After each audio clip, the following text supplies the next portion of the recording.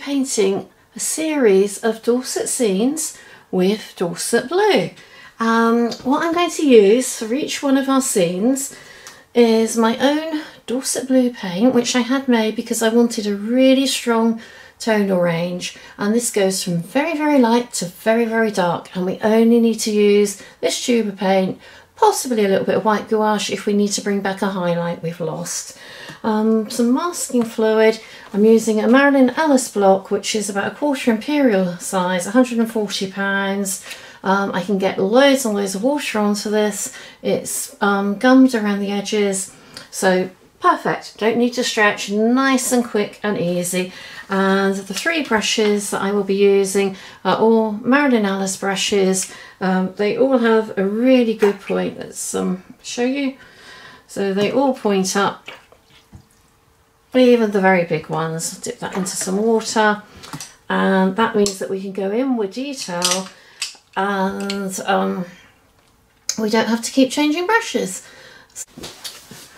Well, I just had to come back to Lyme Regis. I love the Cobb. It is so inspirational.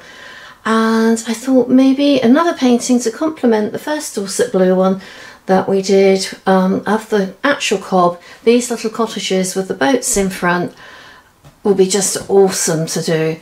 So I've drawn it out. Um, I've done a fair amount of detail of light and dark shapes and just placed a few boats along here with a few bits of masking fluid just to suggest all the chaos that's going on in there because I think to do too much will make that muddly. But this is our focal point and the beautiful cottage. So shall we begin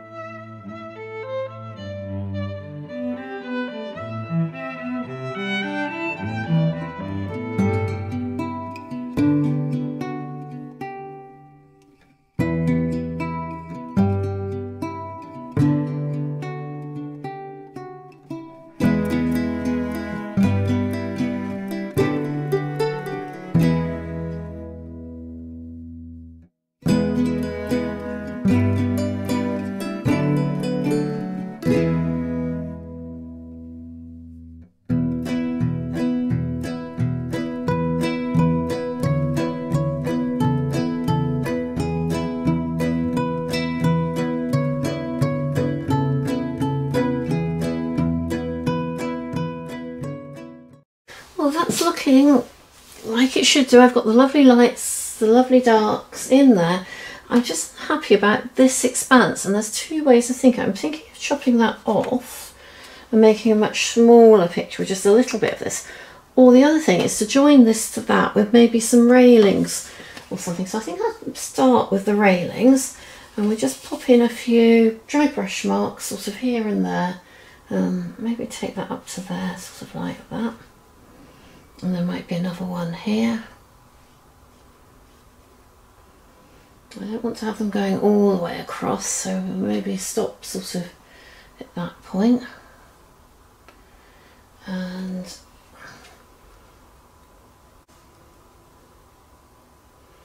don't have to do every single one, just give that feeling.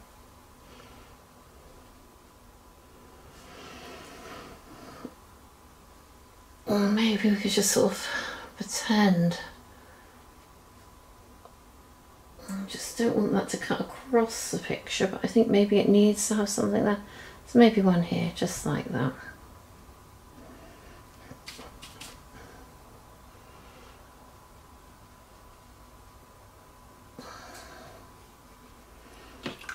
And I think some white onto that too.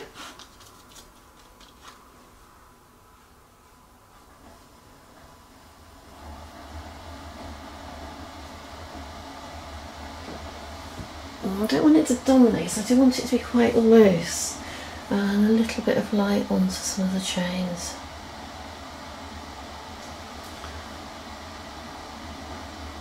Yeah, I'm much, much happier with that. That's joined that bit to that bit.